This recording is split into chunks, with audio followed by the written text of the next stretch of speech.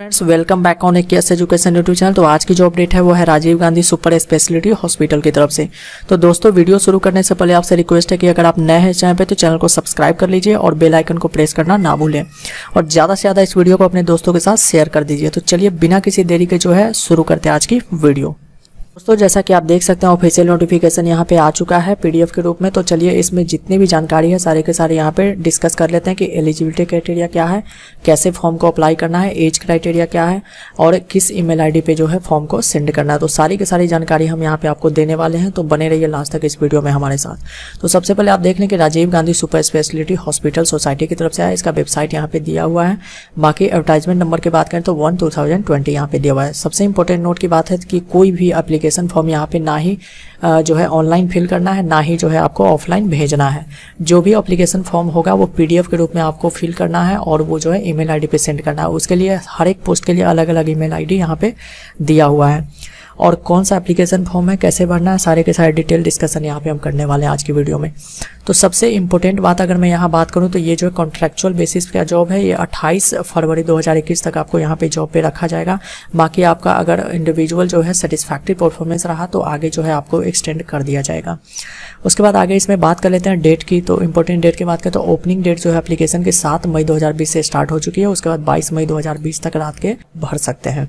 अब यहाँ पे हम वैकेंसी डिटेल की बात कर लेते हैं कि इसमें जो है नंबर ऑफ़ वैकेंसीज कितने हैं, किस पोस्ट के लिए है और फिर एलिजिबिलिटी क्राइटेरिया इसका क्या है, बाकी किस ईमेल आईडी पे भेजना है। तो चलिए पोस्ट कोड वन की अगर हम बात करते हैं ट्वेंटी इसके में दिया हुआ है कि नेम ऑफ़ पोस्ट जो दिया हुआ है, वो है असिस्टेंट प्रोफेसर का स्पेशलिटी आप यहाँ पे देख सकते हैं। बाकी नंबर ऑफ़ पोस्ट यहाँ पे देख सकते हैं किसमें कितना पोस्ट है। बाकी रिजर्वेशन भी यहाँ पे दिया हुआ है। पे स्केल की बात करें तो यहाँ पे आपको मिल जाएगा पे स्केल उसके बाद ईमेल आईडी जो पे जो है अप्लीकेशन फॉर्म इस असिस्टेंट प्रोफेसर का किस ईमेल आईडी पे भेजना है तो यहाँ पे इसको ध्यान से नोट कर लें। इस ईमेल आईडी पे आपको भेजना है। बाकी अगले पोस्ट की बात कर लेते हैं तो अगले पोस्ट आप देख सकते हैं एसोसिएट प्रोफेसर का है, उसका जो है आपका नंबर ऑफ़ पोस्ट यहाँ पे दिया हुआ है स्किल दिया हुआ है, बाकी ईमेल आईडी यहाँ पे आपको दिया हुआ है जिसपे ये फॉर्म फिल करके सेंड करना है। बाकी आप प्रोफेसर की बात करें तो यहाँ पे आप ईमेल आईडी देख सकते हैं पे स्केल देख सकते हैं, बाकी आप कैटेगरी वाइज यहाँ पे वैकेंसी देख सकते हैं। उसके बाद आगे हम बात कर ले मेडिकल ऑफिसर की तो आपका जो है ईमेल आईडी यहाँ पे दिया हुआ है। इस ईमेल आईडी पे भेजना है। एट पोस्ट है इसमें। बाकी आप डिटेल यहाँ पे देख सकते हैं। तो काफ़ी सारे पोस्ट निकाले गए तो आप जिस भी पोस्ट पे अप्लाई करना चाहते हैं, उसका ईमेल आईडी सब पोस्ट के लिए अलग अलग दिया हुआ है। उसी पे उसका फॉर्म जो है फिल करके आपको सेंड करना है। तो बाकी आप यहाँ पे टेक्नीशियन ग्रेड वन का देख सकते हैं कितने पोस्ट हैं, उसके बाद आपका किस ईमेल आईडी पे भेजना है, उसके बाद टेक्नीशियन ग्रेड टू की बात करें तो कितने नंबर ऑफ़ पोस्ट देख सकते हैं, उसके बाद आपका जो है यहाँ पे पे स्केल दिया हुआ है और इस ईमेल आईडी पे आपको इस फॉर्म को फिल करके सेंड करना है।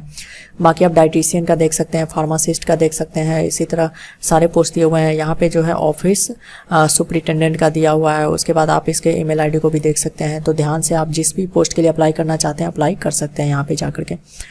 और यहाँ पे आप देख सकते हैं आगे कि सोशल वर्कर का है एलडीसी का है तो काफ़ी सारे पोस्ट हैं। आप किसी भी पोस्ट के लिए एलिजिबल है तो आप जो है यहाँ पे अप्लाई कर सकते हैं। बाकी इसका कोई फॉर्म भी नहीं रखा गया तो इसकी चिंता नहीं है, आप आराम से अप्लाई कर सकते हैं इसमें। अब देखिए, यहाँ पे अगर हम बात करें कि नेम ऑफ़ पोस्ट जो असिस्टेंट प्रोफेसर के लिए क्या एजुकेशनल क्वालिफिकेशन इसेंशियल यहाँ पे दिया हुआ है, पूरा का पूरा आप ध्यान से पढ़ अप्लाई करने से पहले तो काफ़ी डिटेल में दिया हुआ है। उसके बाद आपका एक्सपीरियंस जो है यहाँ पे सारा का सारा दिया हुआ है। तो ये जो है, बाईस मई तक केवल और केवल ये फॉर्म अप्लाई कर सकते हैं आप। तो इसलिए मैं शॉर्ट नोटिफिकेशन आपको बता दे रहा हूँ ताकि किसी को अगर ये फॉर्म फिल करना है तो आप फिल कर सकते हैं। बाकी आप यहाँ पे एज लिमिट इसकी देख सकते हैं। इस पोस्ट के लिए 55 फाइव ईयर्स तक रखी गई है और age relaxation S C S T OBC departmental candidate बाकी आप किसी भी कैटेगरी से तो आपको एज रिलैक्सेशन यहाँ पे मिल जाएगा। उसके बाद आगे हम बात करते हैं अगले पोस्ट के लिए। तो अगले पोस्ट की अगर हम बात करें तो यह है एसोसिएट प्रोफेसर इसका जो है एजुकेशनल क्वालिफिकेशन आपका इसेंशियल यहाँ पे दिया हुआ है।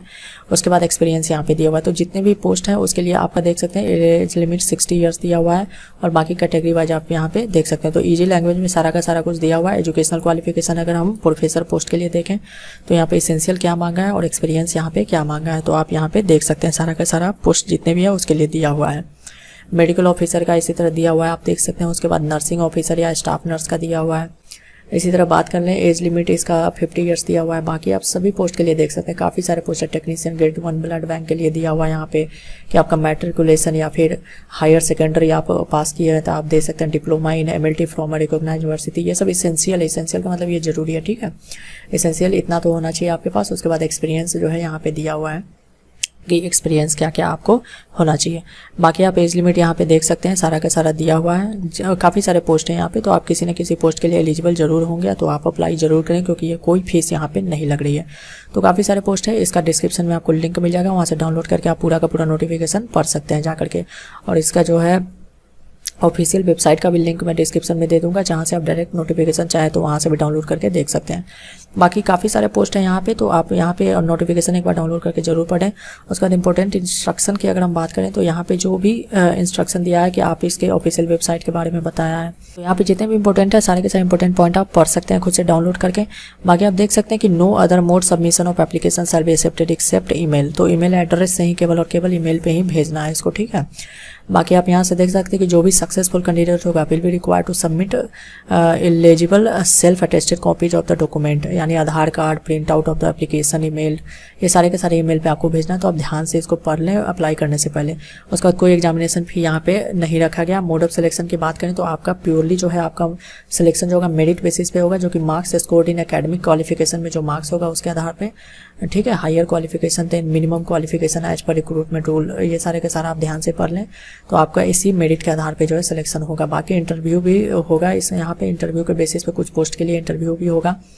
तो बाकी जिस भी पोस्ट के लिए इंटरव्यू होना है, जिस भी पोस्ट के मेरिट बेसिस पे सिलेक्शन होना है तो इसी दो बेसिस पे यहाँ पे सिलेक्शन होगा। तो आप ध्यान से इस सारे के सारे इंपॉर्टेंट नोटिस को ज़रूर पढ़ें अप्लाई करने से पहले। और उसके बाद आगे जो भी हम बात कर लेते हैं एलिजिबिलिटी क्राइटेरिया के तो candidate must be citizen of India होना चाहिए। उसके बाद educational qualification age experience etc सब सारे के सारे फुलफिल यहाँ पे होने चाहिए। जो भी मैं ऊपर जो मेंशन किए गए हैं पोस्ट के अनुसार वहाँ पे। उसके बाद बाकी सारे की सारी डिटेल यहाँ पे इन्फॉर्मेशन आपको मैंने बता दिया है। बाकी देख लेते हैं कि फॉर्म किस तरह से इसका है और फॉर्म कैसे फिल करना है। तो देख सकते हैं आप यहाँ पे जो फॉर्म है आपका खुल के आ गया एप्लीकेशन फॉर्म अब एप्लीकेशन फॉर्म आपका ये मिल जाएगा यहाँ पे। उसके बाद सारा का सारा डिटेल यहाँ पे एप्लीकेशन फॉर्म का दिया। आप देखते हैं कि एप्लीकेशन फॉर्म में क्या क्या भरना है। तो सबसे पहले आप ये ध्यान रखें कि जो भी एप्लीकेशन फॉर्म है, वो आपको नीटली फिल्ड करना है, ठीक है? या टाइप करना है इसको, ठीक है? तो इसको टाइप करना है, उसके बाद signed by the applicant on each page of the application application self attested करना है, ठीक है? ओनली इट्स पीडीएफ फॉर्मेट में ही सेंड करना है अटैच करके ईमेल आईडी पे, ठीक है? उसके बाद आप बात करने, इसमें जो भी आपका डॉक्यूमेंट है, वो भी अटैच करके यहाँ पे भेज देना है इस पर बाकी जितने भी इंपॉर्टेंट इन्फॉर्मेशन यहाँ दी है, सारे के सारे एक बार ज़रूर पढ़ लें आप, और ये एप्लीकेशन फॉर्म है, यहाँ पे पासपोर्ट साइज़ आपका फ़ोटो लग जाएगा। बाकी आप यहाँ करना है टाइप करके फिल कर लें, और सिग्नेचर यहाँ पे कर दें आप जो है, और इसको ईमेल आईडी पे पीडीएफ के फॉर्मेट में बना करके सेंड कर देना है। तो आज के वीडियो में इतना ही। अगर अच्छा लगा हो तो वीडियो को लाइक ज़रूर करें, अपने दोस्तों के साथ ज़्यादा से ज़्यादा इस वीडियो को शेयर कर दें और कोई भी डाउट हो तो कमेंट ज़रूर करें इस वीडियो से रिलेटेड चाहे पर तो चैनल को सब्सक्राइब कर लीजिए। इसी तरह के पल पल के अपडेट के लिए thanks for watching this video